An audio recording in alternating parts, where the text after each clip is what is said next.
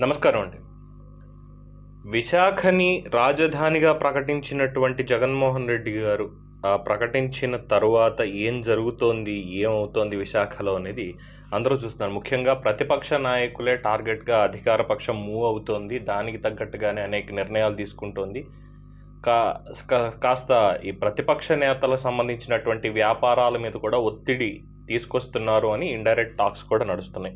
సరే ఇప్పుడు మళ్ళీ ఎందుకు ఇదంతా వచ్చింది? విశాఖలో ఏం జరుగుతుందన్న పాయింట్కి వస్తే కనుక ఈరోజు ఉదయం తెల్లవారుజామున నాలుగున్నర గంటలకి మాజీ ఎంపీ సబ్బం హరి గారి ఇంటి దగ్గర ఉన్నటువంటి ప్రహరీ గోడని కూలగొట్టడం దానికి సంబంధించి కనీసం నోటీసులు కూడా ఇవ్వకుండా అసంబద్ధంగా కొన్ని వ్యవహారాలు చెప్పడం అలాగే నోటీస్ ఎప్పుడు ఇచ్చారు అన్న దానికి అధికారులు మౌనం వహించడం అనేది తెలుస్తోంది. అయితే అక్కడ జరిగినటువంటి కథనం ప్రకారం సబ్బహరి గారి మాటల్లో కూడా చెప్పింది ఏంటంటే అధికారులు వాళ్ళు చెప్పినటువంటిది పంతొమ్మిది వందల తొంభై ఐదు తొంభై ఆరుకు సంబంధించి ఏపీఎస్సీబీ అనే దానికి సంబంధించి పేపర్లు ఉన్నాయి అక్కడి నుంచి ఆ స్థలాన్ని ఆక్రమించుకున్నారని వాళ్ళు చెప్తున్నారు. కానీ ఈ స్థలాన్ని పంతొమ్మిది వందల తొంభై ఎనిమిదిలో నేను కొన్నాను. అది కూడా నేను ఒక్కడిని కాదు కొన్నది. నాతో పాటు ఇద్దరు ముగ్గురు ఉన్నారు ఆ ఇద్దరు ముగ్గురితో పాటు కొన్నప్పుడు మున్సిపల్ కార్పొరేషన్ వాళ్ళు ఇచ్చినటువంటి గ్రాఫ్స్ అవన్నీ కూడా ఉన్నాయి. మ్యాప్స్ అవన్నీ ఉన్నాయి లేఅవుట్స్. ఆ లేఅవుట్స్కి సంబంధించి చూసి అప్పుడు అక్రమం అయితే కనుక మీరు తప్పకుండా తీర్చుకెళ్ళచ్చు. అంటే సార్ ఇప్పుడు అవేమీ అవసరం లేదండి. అవి తర్వాత మాట్లాడొచ్చు. ప్రస్తుతానికి మాకైతే అధికారులు పైనుంచి ఆదేశాలు ఇచ్చినటువంటిది జస్ట్ కూలగొట్టమని మాత్రమే ఇచ్చారని చెప్పి దాదాపుగా ఆయన ఇంటి దగ్గరకి ఏదైతే వాళ్ళు చెప్తున్నారో ఆ కాంపౌండ్ వాల్ ఫెన్సింగ్కి సంబంధించి ఆ వాల్ నుంచి ఆ ఫెన్సింగ్ దగ్గర నుంచి పది అడుగులు దాదాపుగా లోపలికి కూలగొట్టేటువంటి ప్రయత్నాలు చేస్తున్నారు. అలాగే ఆ సెక్యూరిటీకి సంబంధించి ఈయన ఎంపీ అయిన తర్వాత కట్టిన ఆ టాయిలెట్ ఏదైతే ఉందో అంటే విజిటర్స్ ఎవరైనా వచ్చిన సెక్యూరిటీ వాళ్ళకి ఆ బయట టాయిలెట్ ఒకటి ప్రత్యేకంగా కొంచెం కట్టడం జరిగింది అని చెప్పి అబ్బాహారి గారు ఒప్పుకుంటూ మీరు దాన్ని కొట్టేస్తే నాకు అభ్యంతరం ఏం లేదు. ఇప్పుడు ఎలాగో సెక్యూరిటీ కూడా పెద్ద లేదు కాబట్టి నాకు లోపల వాడుకోవచ్చు ఏదైనా చేసుకోవచ్చు. దాన్ని మీరు కొట్టేసిన ఇబ్బంది ఏం లేదు అని చెప్పి చెప్తున్నా. వాళ్ళు మాత్రం అదొక్కటే కాదు ఇంకా లోపలికి మీకు స్థలం ఆక్రమణకు గురైంది అని చెప్పి చెప్పడం. ముఖ్యంగా నోటీసులు ఇవ్వలేదు. ఎందుకు నోటీసులు ఇవ్వలేదు అంటే నోటీసులు ఇచ్చాము అని చెప్పి అధికారులు చెప్తున్నారు. అయితే కింది స్థాయి అధికారులు మాత్రం మౌనం మౌనం వహిస్తున్నారు. ఎందుకంటే మాకు పైనుంచి ఉత్తర్వులు వచ్చాయండి. మీరు ఏమైనా ఉంటే వాళ్ళతో మాట్లాడండి. వాళ్ళు చెప్తే తర్వాత చూడాల్సింది తప్పితే ఏం లేదు. మాకైతే ప్రస్తుతానికి ఇప్పుడు కూలగొట్టడానికి ఆదేశాలు ఇచ్చారు. ఇప్పుడు వెళ్ళి కూలగొట్టమని చెప్పారని చెప్పి వాళ్ళు మిగతా విషయాలు ఏం చెప్పకపోవడం.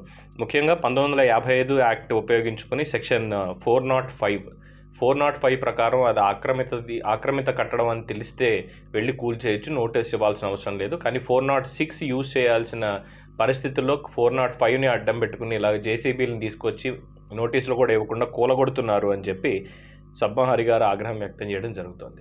నిజంగా అన్యాయం అయిందని అయితే నేనే సహించను. అక్కడ ఆ టాయిలెట్ కట్టింది పబ్లిక్ పర్పస్తో కట్టాము సెక్యూరిటీ పర్పస్ తోటి. మీరు దాన్ని ఇప్పుడు కూల్ చేస్తానంటే నాకు అభ్యంతరాలు ఏమీ లేవు. దానికి నేను ఎప్పుడు మీకు సహకరిస్తాను. కాకపోతే తొంభై రోజుల నుంచి లాక్డౌన్ పీరియడ్ తర్వాత అంతా కూడా నేను ఇంట్లోనే ఉన్నాను బయటికి కూడా ఎక్కడికి వెళ్ళలేదు. మీరు నాకు నోటీసులు ఇవ్వకుండా నోటీసులు ఇచ్చాము అని చెప్పి అబద్ధాలు ఆడడం దాని ద్వారా ఇప్పుడు వచ్చి కూలగొడుతున్నాము అని చెప్పడం ఇదంతా అసంబద్ధంగా ఉంది. మీ అధికారులు ఎవరు చెప్పింది మీకు? మున్సిపల్ కమిషనర్ చెప్పారా? ఇంకెవరైనా ఆర్డర్స్ ఇచ్చారా? ఏంటి? అనేది చెప్పండి నేను అడిగితే వాళ్ళు అక్కడ మౌనం పాటించడం వెళ్ళిన వాళ్ళు చూస్తున్నాం. అలాగే విశాఖకి సంబంధించి ముఖ్యంగా ఈ సబ్బహరి గారిని ఎందుకు టార్గెట్ చేశారు ఇప్పుడు అంటే ఒక్క సబ్బహరి గారినే కాదు విశాఖలో ఉన్నటువంటి తెలుగుదేశం పార్టీ నేతలందరినీ కూడా టార్గెట్ చేశారు అని చెప్పి తెలుస్తుంది. ఎందుకంటే ఇటీవల కాలంలో చోటు చేసుకున్నటువంటి అనేకమైన పరిణామాలు కూడా మనం చూసాం. పార్టీ మార్పులు ఇవన్నీ కూడా అంటే టెక్నికల్ పార్టీ మార్పు. ఎమ్మెల్యే ఏమో ఒక పార్టీ నుంచి గెలవడం వాళ్ళ కుమారులను తీసుకెళ్ళి ఇతర పార్టీల్లో చేర్చేయడం అది ఏమన్నా అంటే వాళ్ళు చేరింది వాళ్ళ రాజకీయ భవిష్యత్తు కోసం అని చెప్పి చెప్పడం. ఇవన్నీ కూడా కేవలం వ్యాపారాలని కాపాడుకోవడానికి మాత్రమే చేస్తున్నటువంటి వ్యవహారం కింద కనిపిస్తోంది. తప్పితే కొత్తగా ఏం కనిపించట్లేదు. బెదిరింపులకు గురి చేస్తున్నారు అన్నటువంటి ఆరోపణలు కూడా అక్కడ వెల్లువెత్తుతున్నాయి. అలాగే ఇప్పుడు సబ్బహరి గారికి సంబంధించి ఆయన చూపిస్తున్నటువంటి వివరాలు వీటి ప్రకారం కూడా మున్సిపల్ అధికారులదే తప్పు ఉన్నట్టు అనిపిస్తోంది అని చెప్పి చాలామంది అంటున్నారు. మరి దాన్ని రేపు కోర్టులో సవాల్ చేసినా లేదా కమిషన్లో సవాల్ చేసినా ఏమవుతుంది అనేది అధికారులు ప్రస్తుతానికి ఇంకా మౌనం పాటిస్తున్నారు. అయితే సబ్బహరి గారు విమర్శించడం ఏంటంటే ఇక్కడ వీళ్ళ పాలన చేతకాక వీళ్ళని విమర్శిస్తూ ఉంటే తట్టుకోలేక ఆ ఉక్రోషంతో ఇలా చేస్తున్నారు. దీని అంతటి వెనకాల విజయసాయి రెడ్డి గారే ఉన్నారు. ఆయన దగ్గర ఉండి మొత్తం ఇవన్నీ చేయిస్తున్నారు. ఎవరిని ఏం చేయాలి ఎప్పుడు ఏం చేయాలి అనేది ప్లాన్ ఆఫ్ యాక్షన్ అంతా ఆయనదే నడుస్తుంది. ఖచ్చితంగా దీని మీద నేను న్యాయపరంగా చర్యలు తీసుకో ఉంటాను. ఎవరేం చేస్తున్నారు అనే దానికి నిజాయితీగా ఉన్న వాళ్ళని ఎవరు ఆపలేరు అని చెప్పి ఆయన స్టేట్మెంట్ ఇవ్వడం జరిగింది. సరే ఒక ఒక పాయింట్లో ఆయనే ఒప్పుకుంటున్నారు సెక్యూరిటీ కోసం టాయిలెట్ని అక్కడ కట్టించడం జరిగింది మీరు కూల్ చేస్తే పర్వాలేదు ఇబ్బంది లేదు అని చెప్పి. అవసరమైతే దాన్ని నేనే దగ్గరుండి కూల్పించి చదువు చేయిస్తానని కూడా ఆయన చెప్పడం జరిగింది.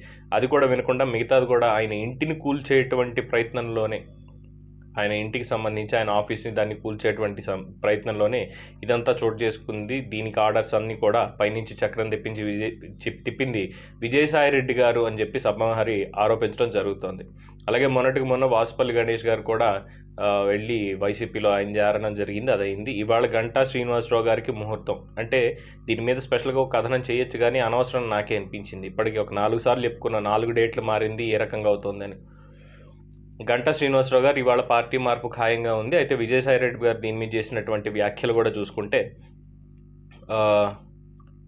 రాజీనామా చేసి ఆయన పార్టీలోకి వస్తే మేము ఆహ్వానిస్తాం. అంతే తప్ప రాజీనామా చేయకుండా వస్తే ఒప్పుకోని చెప్పి. అంటే మిగతా వాళ్ళకి ఒక రోలు గంటా శ్రీనివాసరావు గారు ఒక్కొక్క రోల్. అంటే లొంగుతాడా లొంగడా అన్నటువంటి ఒత్తిడి అక్కడ కనిపిస్తోందని ప్రజలందరికీ కూడా ఈజీగానే అర్థమవుతోంది. సో ఈ రకంగా ప్రతిపక్ష నేతల్ని అధికార పక్ష నేతలు టార్గెట్ చేస్తున్నారు. ముఖ్యంగా విశాఖకి సంబంధించి ఇప్పుడు మొదలైంది. ఎందుకంటే ప్రమాణ స్వీకారం చేసి అసెంబ్లీ సెషన్స్ వచ్చేసరికి ఈ ఇన్సైడర్ ట్రేడింగ్ జరిగిపోయింది అవినావతం మీద అంటూ ముందు విశాఖ నేతల మీద పడ్డారు. అందులోనూ చంద్రబాబు నాయుడు గారి కుటుంబ సభ్యులైనటువంటి అంటే బాలకృష్ణ గారి చిన్నల్లుడు శ్రీభరత్ మీద పడి వాళ్ళ కుటుంబానికి సంబంధించి అమరావతిలో ఇన్ని ఎకరాలు ల్యాండ్ ఇచ్చేశారు అని చెప్పి ముందు వాళ్ళని టార్గెట్ చేశారు. దాని తర్వాత గంటా శ్రీనివాసరావు గారిని కూడా ఏ రకంగా టార్గెట్ చేశారంటే గతంలో కంపెనీ నుంచి సైకిళ్ళు కొన్నారు. పాఠశాల విద్యాశాఖ మంత్రిగా ఉన్నప్పుడు ఈ బాల బాలికలకి ముఖ్యంగా తొమ్మిది పదో తరగతి బాలికలకి సైకిళ్ళు పంపిణీ చేశారు ఉచితంగా. ఆ సైకిళ్ళన్నీ కూడా నాసిరకంగా ఉన్నాయి. సంవత్సరంలోనే మెయింటెనెన్స్ లేకుండా పోతున్నాయి. ఎందుకు పని చేయకుండా పోతున్నాయి సంవత్సరానికి? ఇప్పటికీ యాభై ఏళ్ళ నుంచి ఉన్న సైకిళ్ళే నేను చూస్తున్నాను. విజయసాయి రెడ్డి గారి స్టేట్మెంట్ ఇచ్చారు. ఈ సైకిళ్ళలో ఐదు కోట్ల రూపాయల పైగా కుంభకోణం జరిగింది అంటే దానికి సాక్ష్యాలు బయట పెట్టమంటే పెట్టట్లేదు కానీ ఏదో కంపెనీ పేరు చెప్పి అది బ్లాక్ లిస్ట్లో ఉంది అని ఇది మాట్లాడి ఆయన్ని ఇబ్బంది పెట్టడం.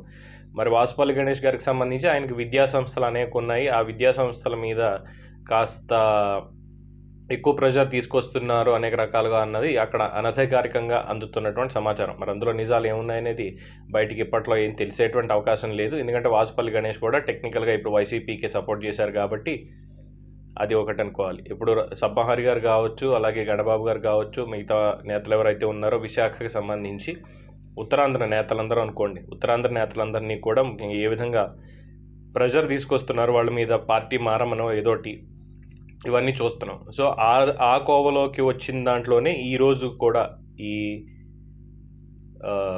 సబ్బహారి సబ్బహరి గారికి సంబంధించి ఈ ప్రహరీ గోడను కూలగొట్టడం కానీ అక్కడ ఉన్నటువంటి కట్టడాన్ని కూలగొట్టడానికి ఉదయం నాలుగున్నరకి జేసీబీలతో వెళ్ళడం అనేది అధికారుల కాస్త అధికారుల కాస్త ఈ ప్రభుత్వ వాళ్ళు ఏది చెప్తే అదే చేస్తున్నారు రూల్స్ అండ్ రెగ్యులేషన్స్ మర్చిపోతున్నారు వాటికి అనుగుణంగా చేయాల్సింది ఒత్తిడి తట్టుకోలేకపోతున్నారేమో అధికారులు అన్నటువంటిది కూడా ఇక్కడ వినిపిస్తున్నటువంటి మాట. మరి దీని మీద ముందు ముందు ఎటువంటి నిర్ణయాలు వెలువడతాయి ఎటువంటి కామెంట్స్ వస్తాయనేది వేచి చూడాలి